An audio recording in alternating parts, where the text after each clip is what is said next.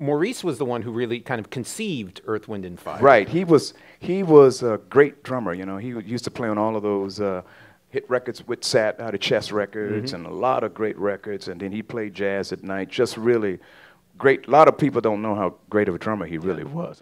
And then Reese played with Ramsey for like five years. You know, uh, in crowd, Mm-hmm. Yeah. in the water.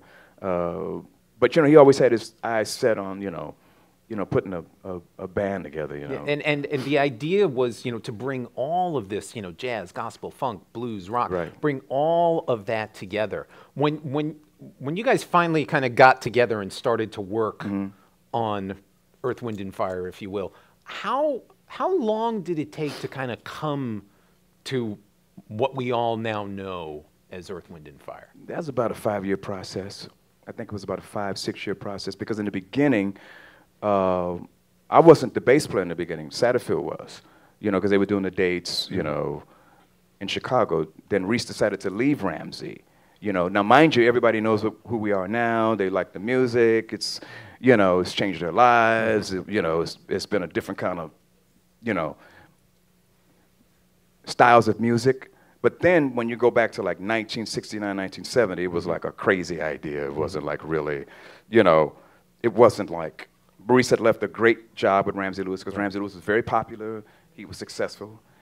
He told Ramsey that, you know, I'm gonna like, you know, put this band together, you know, that's gonna fly through the air. We're gonna do all kind of music. We're gonna do this. And Ramsey told Reese, he said, man, you know, you should take an aspirin and go to sleep, go to bed. True story. Yeah, True yeah, story. yeah.